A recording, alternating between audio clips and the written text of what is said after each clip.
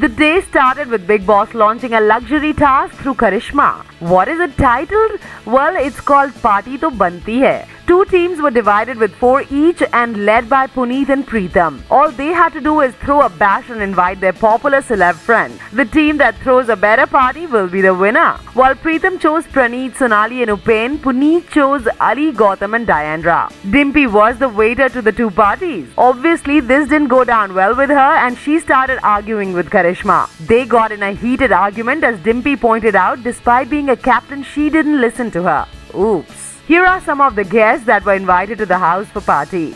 Sajid Wajid, Neeraj Dheer, Sambhavna Seth, Rahul Mahajan, Gurmeet Choudhary, Ajaz Khan, Vindu Dara Singh and Kashmira Shah.